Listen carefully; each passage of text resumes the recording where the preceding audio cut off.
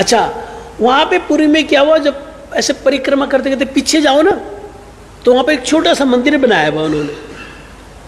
वहाँ पे कहते जी, वो एकादशी को बाँध के रखा, यहाँ कोई एकादशी व्रत व्रत नहीं होगा। प्रसाद खाएँगे, रोज प्रसाद खाएँगे, एक प्रसाद कितनी महिमा है।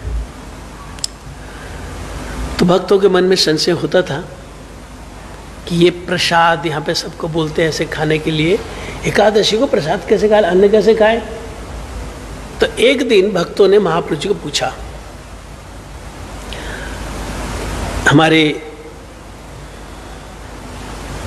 सत्य भामा जी के अवतार जगदानंद जी ने एक ग्रंथ लिखा, प्रेम विवर्थ उसमें इस प्रसंग को लिखा।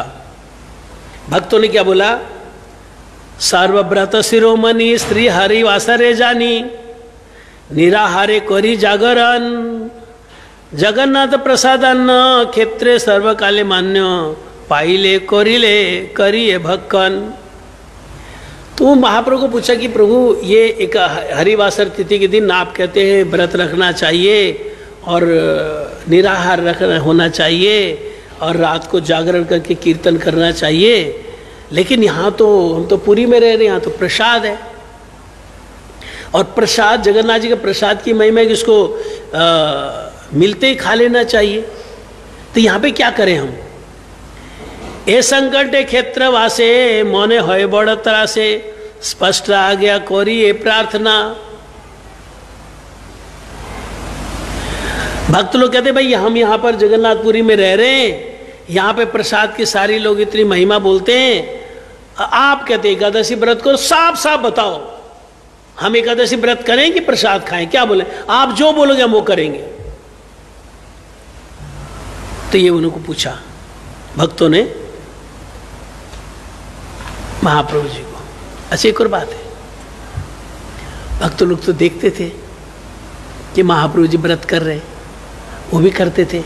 हम सब के लिए पूछा, जो बात की जनरेशन आएगी ना, वो प्रसाद की महिमा सुनेगी, वहाँ पर एकादशी को बांधा हुआ, है ना? इसलिए नहीं करना चाहिए, एकादशी नहीं करना चाहिए, खा, जगन्नाथ जी का प्रसाद खाना चाहिए। इसलिए उन्होंने बोला, स्पष्ट बात, साफ़ साफ़ बताओ कि हमको क्या करना है। तब महाप्रभु जी ने बोला, हमारे जगदान जी लगा प्रभु बोले, भक्ति अंगे, एकादशी मानव अंगे, सर्वनाश उपस्थित है महाप्रभु ने बोले, देखो भाई, अगर एकादशी का व्रत टूट गया तो सर्वनाश हो जाता है। लेकिन इधर प्रसाद की महिमा, मैं मानता हूँ प्रसाद की महिमा है तो उसमें क्या करो? प्रसाद पूजन करी, प्रसाद को प्रणाम करो। कोई जगन्नाथ जी को प्रसाद दे दो, उसको पूजन करो, प्रणाम करो। प्रसाद पूजन करी पर दिने पाइले तोरी पर दिन अगले दिन खा लो। प्रसाद जो है वो तो अगले दिन भी रहेगा, लेकिन एकादशी अगले दिन नहीं रहेगी। इसलिए क्या करो? प्रसाद पूजन करी पर दिन पाइले तो। अगले दिन तो पारण करना ही होता है। पारण के टाइम खा लो। हरिवासर दिने कृष्ण नाम रस पाने तृप्त है वैष्णव सुजन।